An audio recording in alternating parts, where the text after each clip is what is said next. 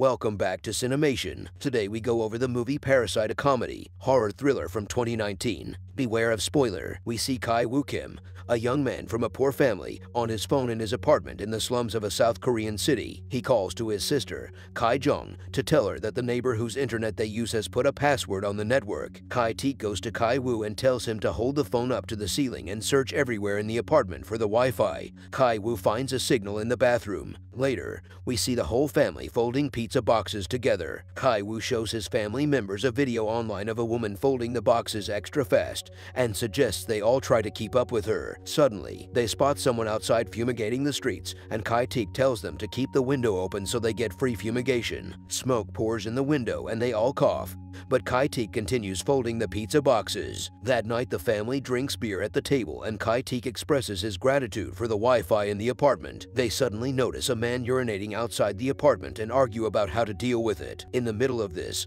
one of Kai Woo's friends, Min Hyuk, a college student, rides up on a motorbike and yells at the drunk man. He visits the Kim family and gives them a rock that his grandfather told him to bring. It is meant to bring wealth. Min Hyuk and Kai Wu go out for a drink, and Min Hyuk comments on the fact that Kai Wu's parents look healthy. Kai Wu talks about how poor his family is, when Min Hyuk suddenly shows him a picture of the high school sophomore he tutors, and tells him he should take over as her tutor while he goes abroad. Min Hyuk tells him he is planning to ask her out once she enters college. Kai Wu doubts his abilities, but Min Hyuk reminds him that while he was serving in the military, Kai Wu took the entrance exam many times and is a much better student than all the drunken college students he knows Min Hyuk assures Kai Woo that it will be no problem getting him the job since he will recommend him, and since the mother of the family is simple. Kai Woo enlists the help of his sister, Kai Jung, to help him make a resume with a college logo on it. When they show it to Kai Teek, he says, does Oxford have a major in document forgery? Kai Jung would be top of her class,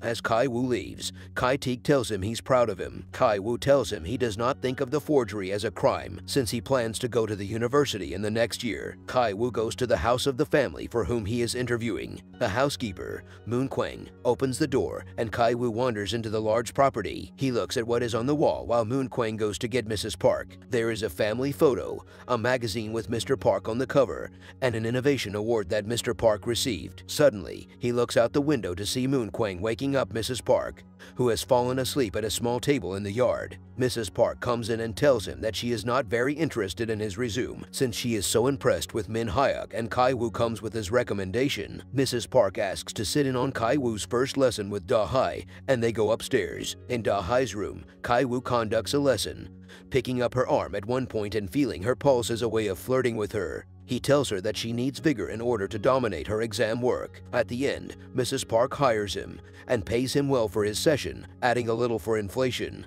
Moon Kwang plays with the Mrs. Park's son, while Mrs. Park laughingly tells Kai Wu that her son is eccentric and has a short attention span. She tells him that she enrolled Da Song in Cub Scouts, but it's made him even more poorly behaved, blaming it on the figure of the American Indian. Kai Wu lies that he was a Cub Scout as she walks him out of the house, Mrs. Park talks about the fact that they have been unable to find a good art teacher. Struck with inspiration, Kai Wu tells Mrs. Park that he knows someone, Jessica, a friend of his cousin's who studied art at Illinois State University and who might be perfectly suited to tutoring Da Song. He tells her that Jessica could help Da Song get into a good art school, and Mrs. Park becomes eager to meet her. The scene shifts and we see Kai Woo bringing his sister, Kai Jong, to the Park residence. Before they enter, they sing a little song reminding Kai Jong how to remember the biographical details of her character, Jessica. Kai Woo goes up to Da Hai's room, where she tells him that Da Song is faking his genius. She talks about the fact that sometimes Da Song stares at the sky,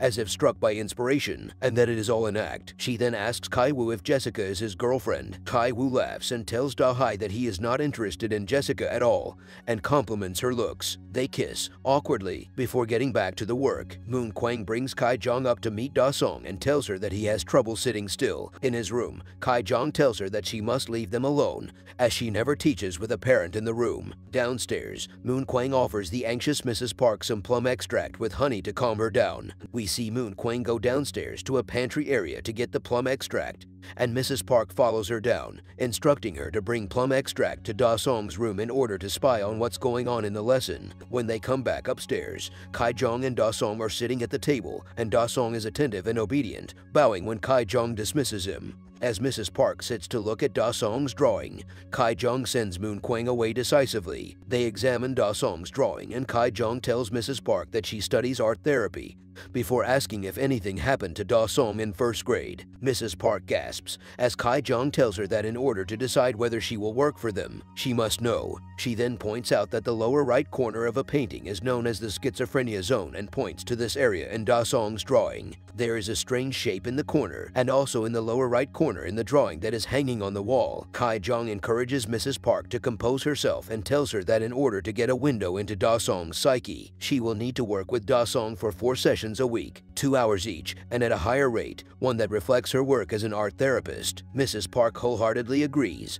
As Mr. Park arrives home, Mrs. Park introduces him to Jessica from Illinois and asks his driver to bring her home. In the car, the driver asks Kai Jong if he should bring her all the way home, and she tells him to drop her off at the station. He pushes it a little, clearly wanting to bring her home, and she lies abruptly, telling him that she's meeting her boyfriend. As they near the station, Kai Jong takes off her underwear and leaves it in the car. At a food hall later, Kai Jong asks her father if he drove many Mercedes-Benzes when he was a driver. He tells her he was not a driver, but a valet, and Kai Jong tells Kai Wu that she planted a trap in the car in order to get the driver fired and start the next step in their plan. The scene shifts and we see Mr. Park in the backseat of his car, finding the panties that Kai Jong left. He brings them home, where his wife is sleeping on the couch. She awakens and he shows her the panties. They are completely repulsed by the thought that not only did the driver have sex in the car, but that he had sex in the backseat, where Mr. Park sits. Mr. Park then points out that the most suspicious element of the whole thing is that the woman left her panties,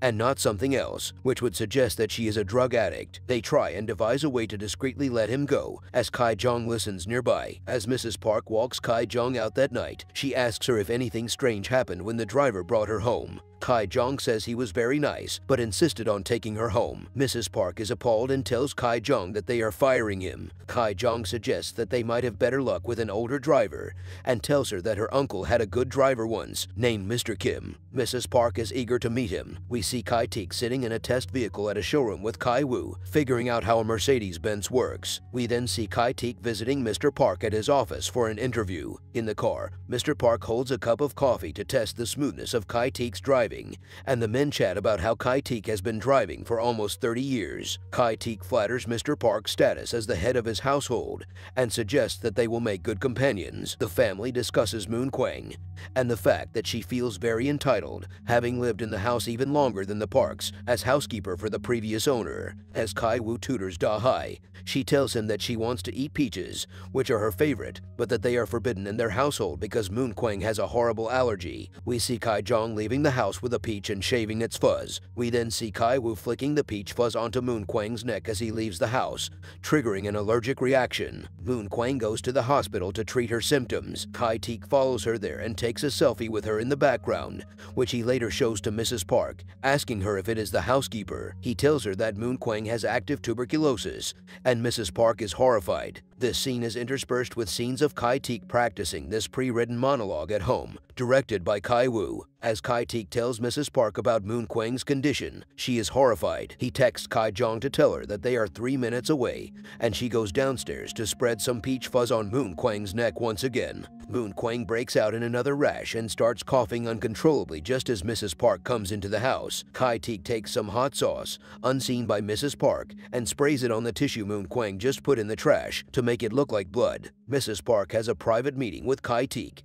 in which she asks him not to mention any of what has happened to her husband. Kai Teek tells her that he does not have anything against Moon Kwang and does not want her to know that he heard about her tuberculosis. Mrs. Park assures him that she will be discreet and make up an excuse for firing her, as she did with the driver. Mr. Park asks Kai Teek if he knows a good ribs restaurant nearby, citing the fact that Moon Kwang made such good ribs. He is usped because of the sudden leave of their housekeeper, bemoaning the fact that she was such a good housekeeper, primarily because she never crossed the line. Kai Teek hands Mr. Park a card for a housekeeping service called The Care and asks Mr. Park if he loves his wife. Mr. Park laughs indignantly and tells him that he does. Kai Teek tells Mr. Park that The Care offered him a job, but that he turned turned it down to work for the Parks. Kai Teek tells Mr. Park he can give the card to his wife and tell her that he found the company himself. Kai Jong pretends to be the administrator at the care and asks Mrs. Park over the phone for a number of formal documents. Soon enough, Chung Suk is working as the housekeeper, bringing fruit to her two children, the tutors. In the middle of Da Song's session, Mr. Park arrives home with gifts, including walkie-talkies. While looking at the gifts,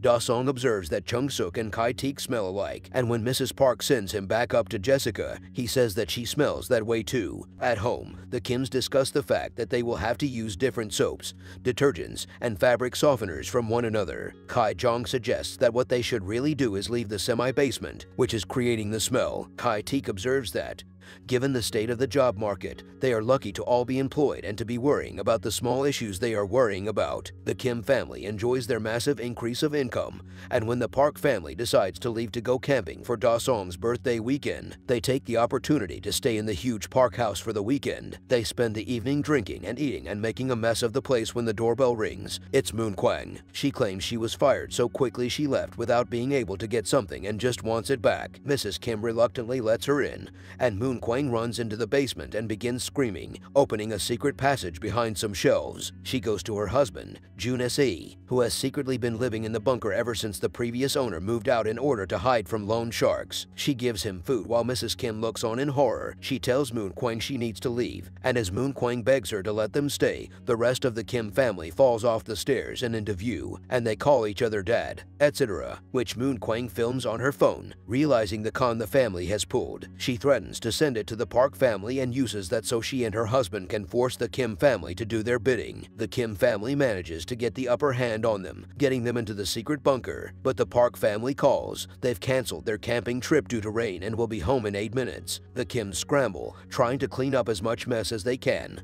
Keeping the other two in the basement, they manage to do a good enough job that the rest of the family is able to hide while Mrs. Kim gives the Parks their dinner. When Moon Kwang breaks out and runs upstairs, Mrs. Kim shoves her back down the stairs, where she hits her head and is severely wounded. Moon Kwang and June SAE are locked in the bunker. Mr. and Mrs. Park end up sleeping in the living room in order to keep an eye on Da Song, who is camping out in the backyard, forcing the Kims to stay under the table, frozen all night, even as the Parks complain about Mr. Kim's smell, and then later have sex. Eventually, in the dead of night, they are able to sneak out. They return home to find their apartment completely flooded with rain and sewage. Kai Wu takes the rock, and the family sleeps in a shelter for the night.